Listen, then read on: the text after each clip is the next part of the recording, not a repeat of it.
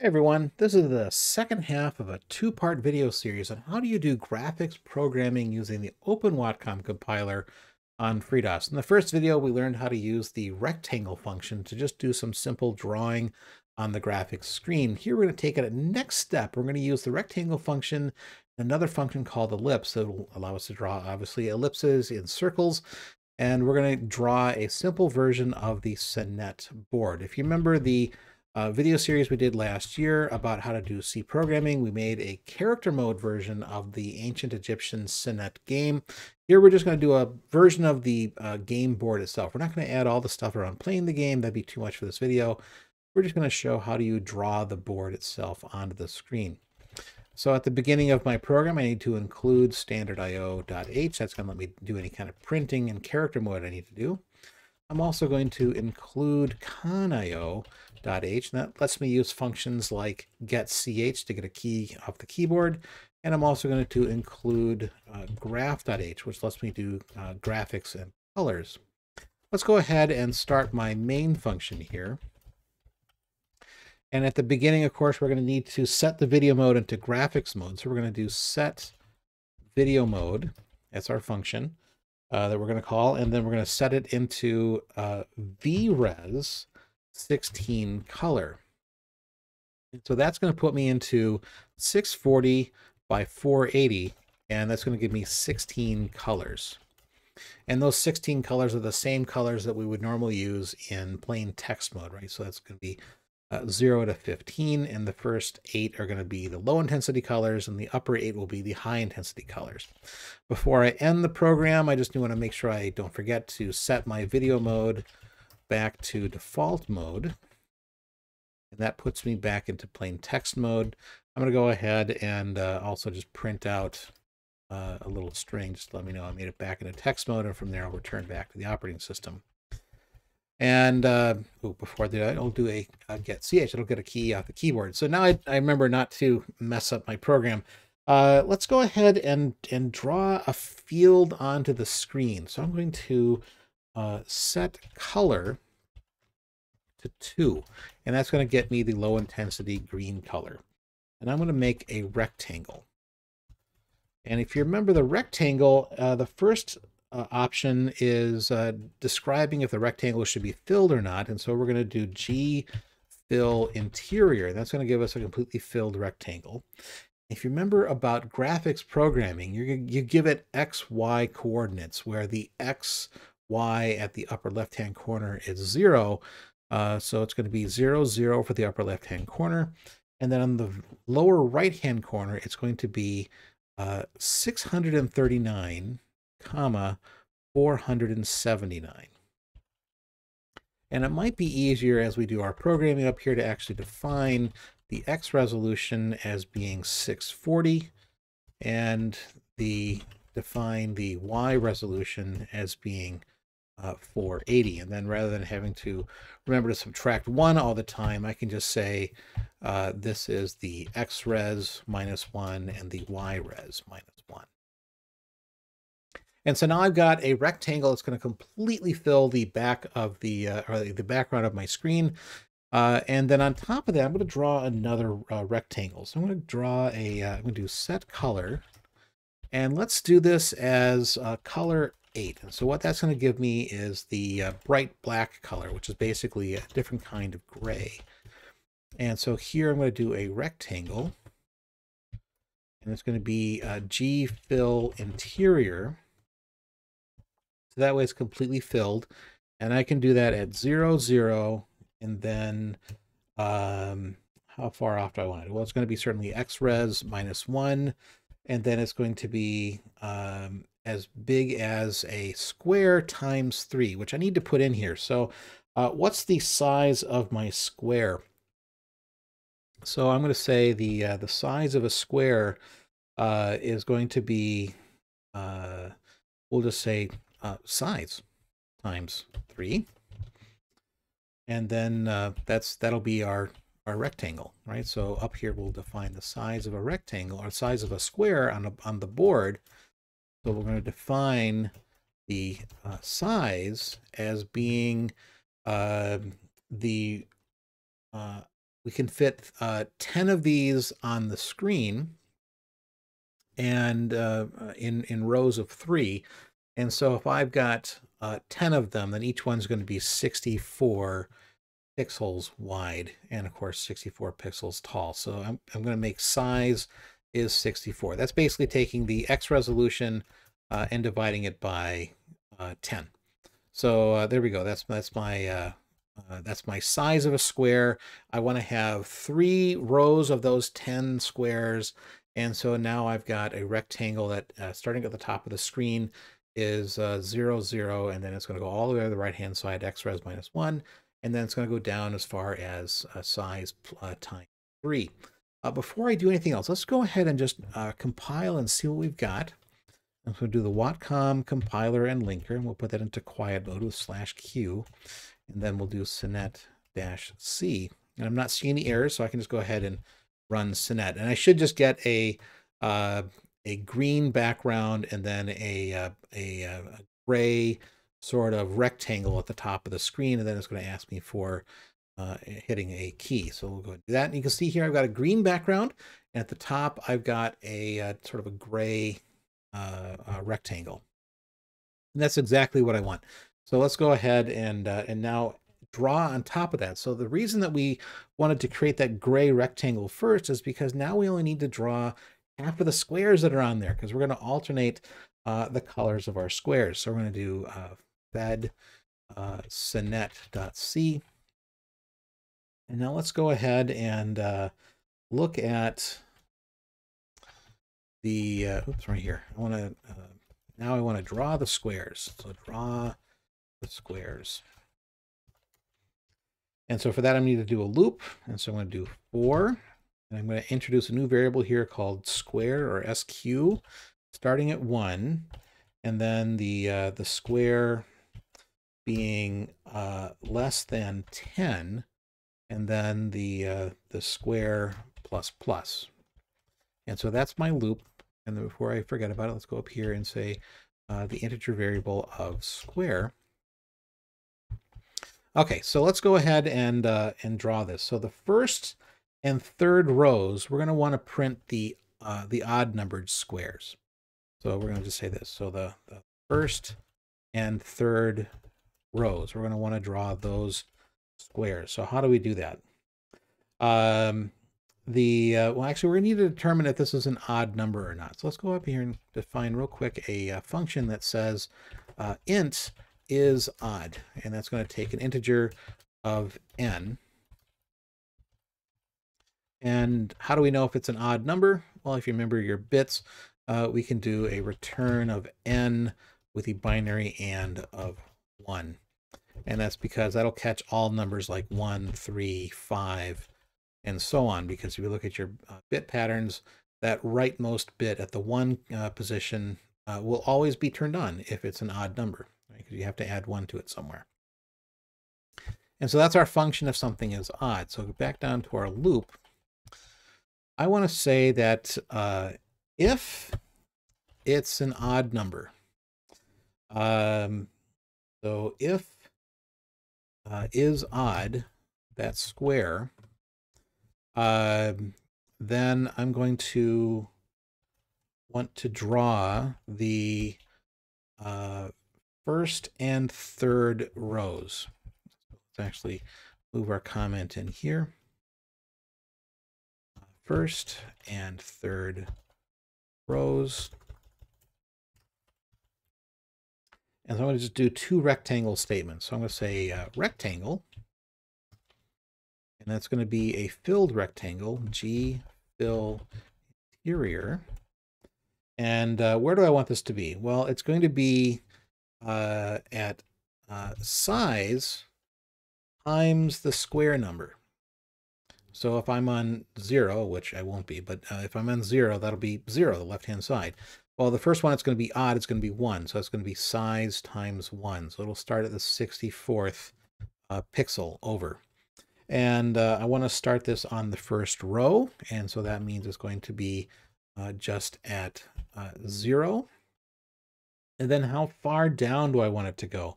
Uh, let's give myself a little extra room here. So how far down do I want it to go? Well, it's going to be uh, going to um, size times and then uh, square plus 1.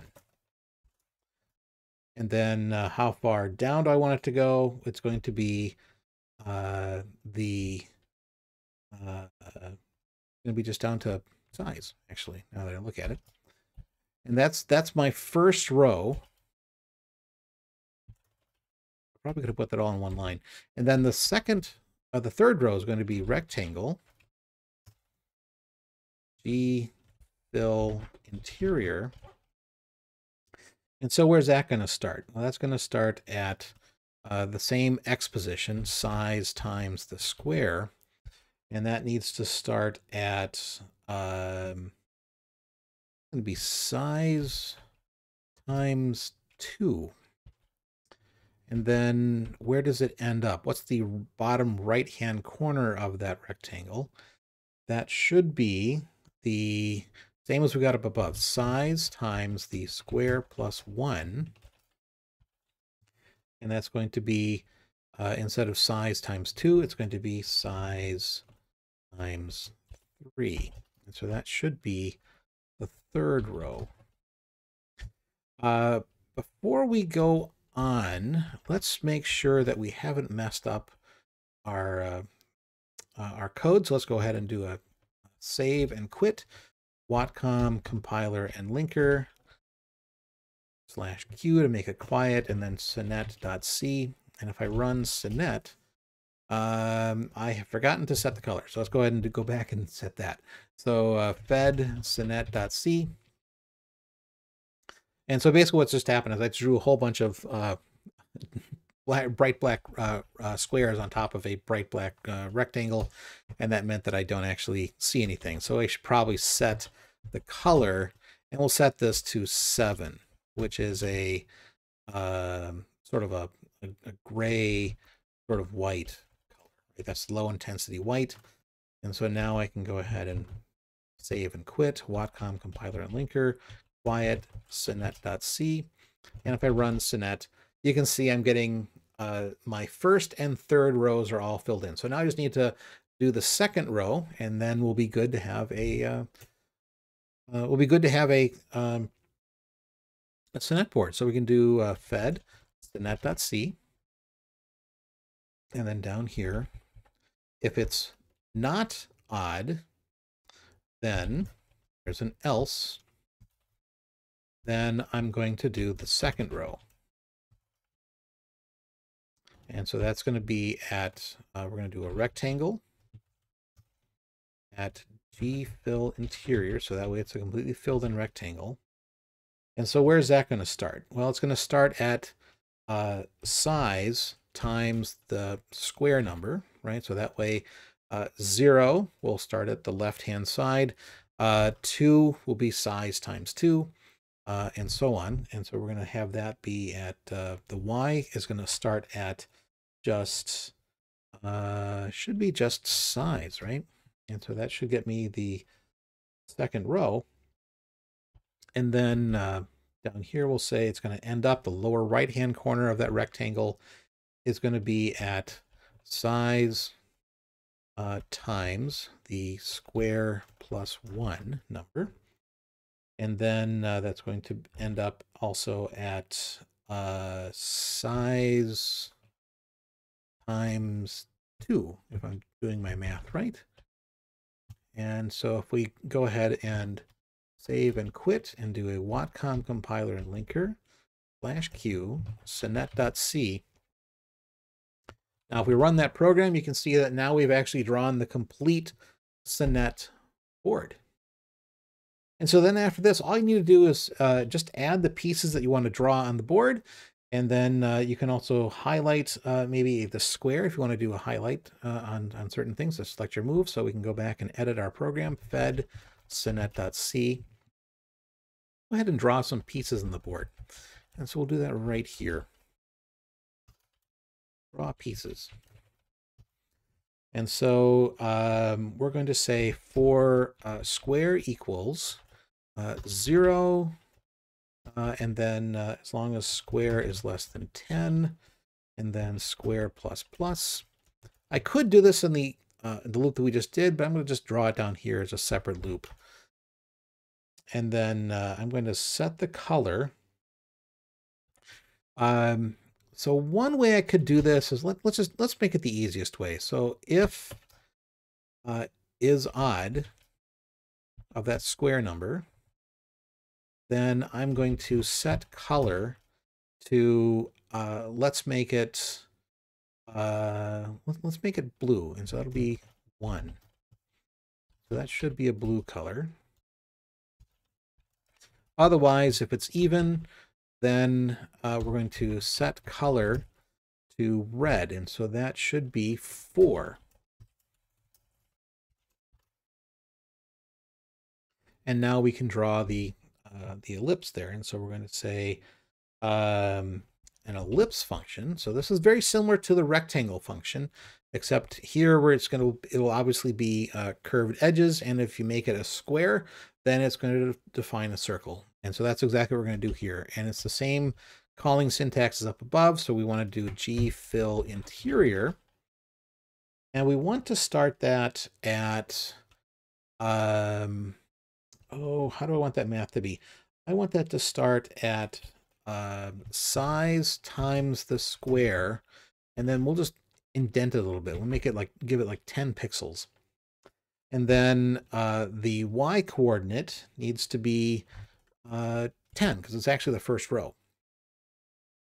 And then uh, the bottom right of that ellipse needs to be uh, the, um, if I'm doing this one right. This should be the uh, size times the square plus 1. And then I want to subtract 10. So that way I give it a little bit of, uh, you know, padding on that square. And then the bottom uh, edge of that needs to be uh, size minus 10. And so that should give me a uh, an ellipse, which is defined inside a square, which will be a circle, and this will alternate between blue and red. So I'm going to go ahead and just go ahead and save what I've got and make sure this is working. So Watcom compiler and linker slash q to make it quiet so we don't get all that extra debugging information when it runs the program, and then senet.c. And I made a uh, an error in there somewhere. Let's go ahead and fix my ellipse. Uh, so fed uh, senet.c and where did I make my error? Oh, right here. So I'm missing a parenthesis. So that should be my error. Save and quit. Watcom compiler and linker, and then run Senet. And so now my first row has got alternating uh, red and blue uh, pieces on it, which is exactly what I want for a Senet board, right? You want to set that first row to be alternating uh, pieces for player one and player two. Now, if I were going to write this as an actual game, I'd want to be able to select the square that I want to make a move from. And an easy way to do that would be to, uh, rather than redraw the square every time, is to just put a highlight around the square itself. And so we can do that. And we'll make one more change here. So we'll do fed senet.c just to see what that looks like. Uh, so over here, we'll uh, highlight the uh, the first square, right? So this is a, an example of how you would uh, make a highlight of a of a certain square. If you're going to be including this in a game, you'd want to obviously move the square around, but we're just going to highlight the first square just so you can see how to do it. And so for that, we're going to uh, set the color, and we'll do that to 14. That gives me a nice bright yellow color good for a highlight. And I'm going to do a uh, rectangle because I want to go around the edge of my uh, square that I had done before, which I used using a rectangle function. Now, rather than using G fill interior, we actually want to just do the border. So I'm going to do G border. And uh, where do I want the upper left? It's going to be, uh, should be zero, zero for that first one. And then what's the uh, right-hand side, the bottom right actually of that square, it should be size and size, right? Because it's just the first square. First square. And that should be it, right? My, my program should now be done. And so I'm going to go ahead and save and quit. And if I do a Watcom compiler and linker slash q senet.c, then run senet, you can see that now I've got the start of a Senet game in graphics mode where I've got a green background for the entire screen. I've drawn my Senet board and you remember I only had to draw half of the squares on there because I drew a big rectangle first in that darker gray and then I used the lighter gray to do the alternating squares. Uh, and then I drew the pieces on there and they were just drawn as simple circles because that's what the Senet board uses. You can do the same kind of concept for checkers, by the way. And uh, to highlight certain squares, we're just going to do an outline, a border on each of those squares. And so we could then, uh, rather than having to draw the entire square every time we move the highlight, we just need to erase the uh, uh, the border that I put it there before, and then we just draw another border on top of it. So it's uh, rather than drawing the whole thing, you're just drawing a little a little uh, border around each one. Very fast to move things around. And so that's a typical way that you might draw a, a game in graphics mode. And so this is just a simple representation of the Senet game in graphics mode. You might add other code in here to create an offset so you can more or less center that uh, on the screen. You might add some other code to change the size of the board. But this is the basics of how you'd use the ellipse function and the rectangle function to create simple shapes in your game. Uh, before I go, I'll just mention that uh, patrons are going to get a bonus, and so there's going to be a bonus video for my patrons about how do you use these ellipse functions to draw bananas. And so if you wanted to make a simple version of a game where monkeys throw bananas at each other, that might be one way that you might do that. Uh, before I go, I want to thank everybody who supports me on Patreon. You really do make this channel happen. Some of you are sponsoring me at a higher level, and I want to thank you especially here for that. So thank you very much. Visit our website at freedos.org. Join us on Facebook. Follow us on Twitter and consider supporting me on Patreon. Thank you.